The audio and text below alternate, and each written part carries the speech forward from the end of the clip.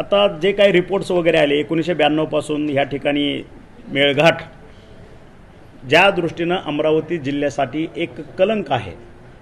ह्या पद्धतीनं इतकं कुपोषित होतं मृत होतात किंवा मातांच्या डिलिव्हरी त्यांचा आरोग्याच्या बाबतीतल्या तक्रारी त्या ठिकाणचं अशिक्षितपणा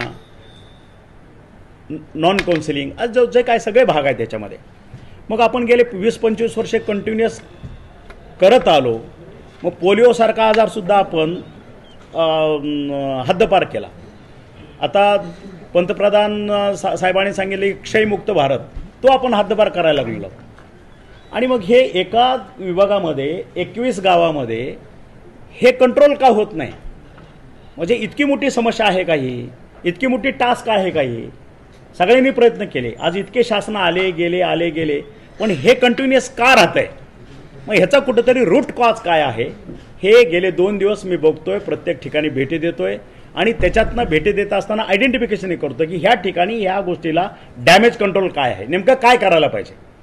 आणि म्हणून प्रत्येक फील्डवरती प्रत्येक पी एस सीला आणि प्रत्येक डॉक्टर आणि सर्वसामान्य माणूस आणि त्यांच्यातल्याच काही सेविका ह्यांच्याही सल्ले मी घेतलेले आहेत. की साहेब ह्या ठिकाणी नेमकं काय करायला पाहिजे? त्यांनी मला सुचवलेलं आहे.